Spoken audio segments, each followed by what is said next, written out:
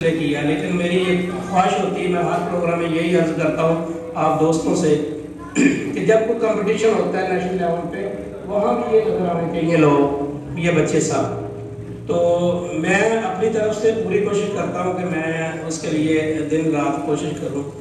तो इन बच्चों को हम लेके चलें, वहाँ जहाँ कंपटीशन होते हैं नेशनल लेवल पे। वो अभी भी लास्ट टाइम हमने प्रोग्राम में देखा कल जो अशरफ कलों में हुआ। तो मेरा ख्याल कम ही लोग होंगे जो वहाँ पार्टिसिपेट होंगे तो प्लीज़ आप ये ज़रूर कीजिएगा, जितने पर पर यहाँ लगे हैं, सियालकोट एक ज़्यादा सियालकोट हैं। तो वहाँ जाएँ और पार्टिसिपेट करें, इन लोगों को आगे लेके आए। ये हमारे मुल्क का नाम रोशन करने वाले हैं। दूसरी बात ये है कि मैं ये खुशकस्मती समझता हूँ कि मैं आपके सामने खड़ा हूँ।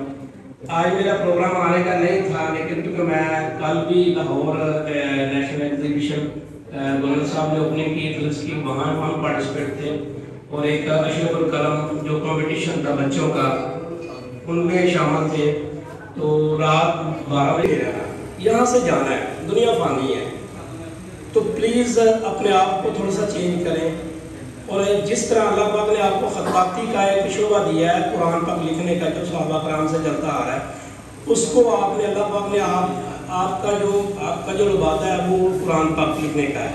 आपको अल्लाह पाक ने एक बहुत बड़ा खूबसूरत लबास दिया है, कुरान लिखने का जो हाथ दिया है। यह हर किसी के नसीब में नहीं है।